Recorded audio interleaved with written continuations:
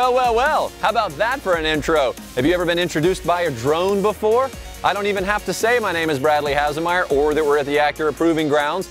I should point out, though, that today is a lucky day because I'm driving the completely redesigned Acura RDX before it even hits the market. I'm going to be comparing it to this, the Audi Q5. Of course, both of these SUVs will fit some of your needs, but we got to figure out which one ultimately ends up in your driveway. Let's go. Of course, when you're buying a car, what's the first thing you think about? How does it look? Yes, and the Audi Q5 has, well, a conservative look. They did update it, but it still retains that kind of vibe. On the inside, you'll find a clean, modern interior, which I do like, and the screen is nice and crisp, but the touchpad is in front of the shifter, making it awkward to use, especially when driving. And when it comes to the back seat, oh my gosh, if you're in the middle, you're totally out of luck. There's a high center tunnel. You got to figure out how to cram your legs in to make it fit.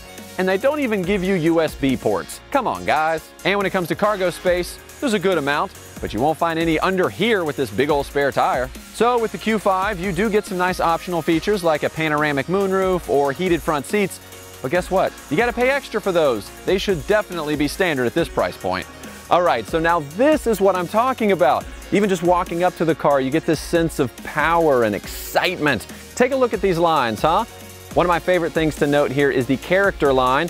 It's essentially the line that runs from the diamond pentagon grille all the way down the side to the back and ends in those dragon tail taillights.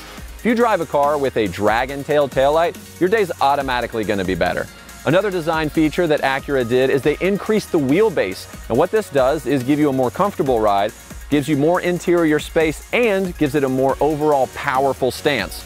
Win, win, win all around. And that's just on the outside. Let's go in the car. Welcome to the lifestyles of the rich and famous inside here, baby. Yeah, look at this interior, huh? It's like you're in first class. You got this leather wrapped sports steering wheel with paddle shifters. Boom, boom, boom, boom. So much power just in my hands. And Look up. It's a bird. It's a plane. No, it's a giant panoramic moonroof, which comes standard, by the way.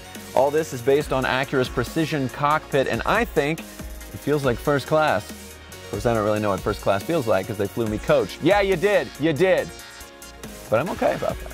One of the things I really love about this new interior is this 10.2 inch display. It's sharp, it's crisp, and it works with what I call the brilliant True Touchpad interface. No hashtag fake news, only True Touch here.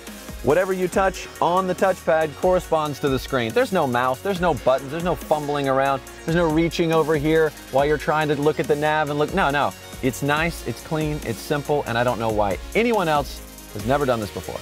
And when it comes to audio, you've got premium speakers mounted high on the doors and available speakers mounted in the ceiling. Yes, that means you're getting a front to back, side to side, and top to bottom audio experience. If the words floating center console sound like a Zen meditation to you, well, that's good, because this beautiful area here brings you much peace and storage.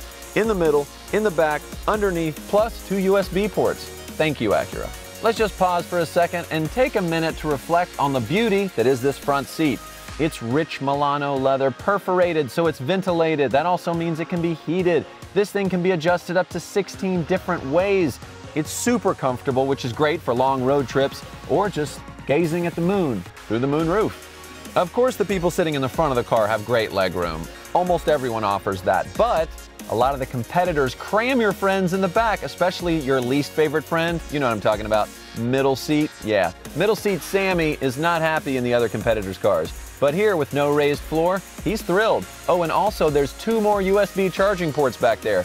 You don't have to talk to your kids, plug them in. And this is an SUV, of course, so let's talk cargo. Back here, cargo is top notch. Check this out.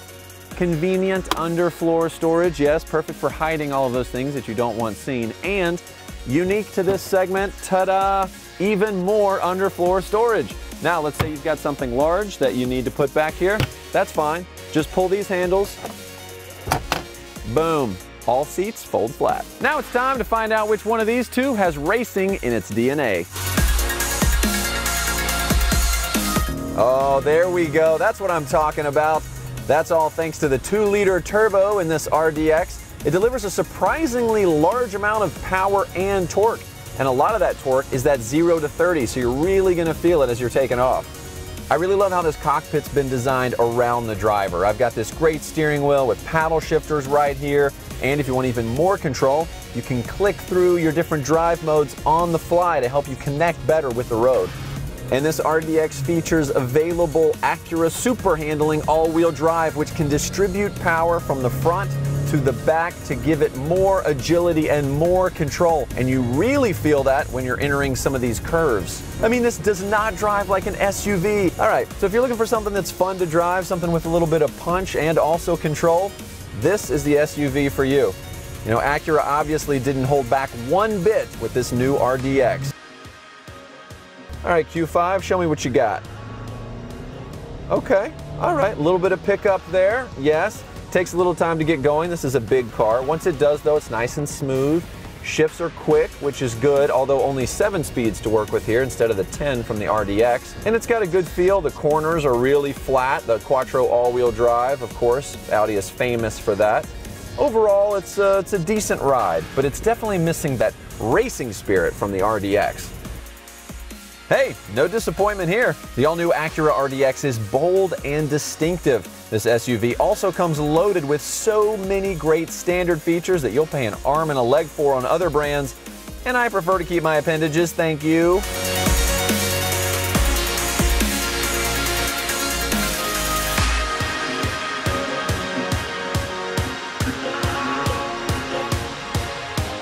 All right, so Audi has updated their styling this year, which is great, some sharper lines.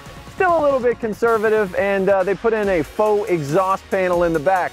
That to me says they don't trust their own power. Now when it comes to the RDX, this thing really stands out. What you see is what you get with this, and I absolutely love that. Not to mention the fact you're getting a car loaded with standard features that you're gonna have to pay a whole lot more for in something like an Audi, including Acura Watch driver assistance technologies. Yes, a whole suite of features that I don't have time to tell you about. But now it's your turn. Head to Acura.com, make your own comparison. I got to take off. I've got another job. I'm a land surveyor. All right, Bradley out. See you next time. It looks huge!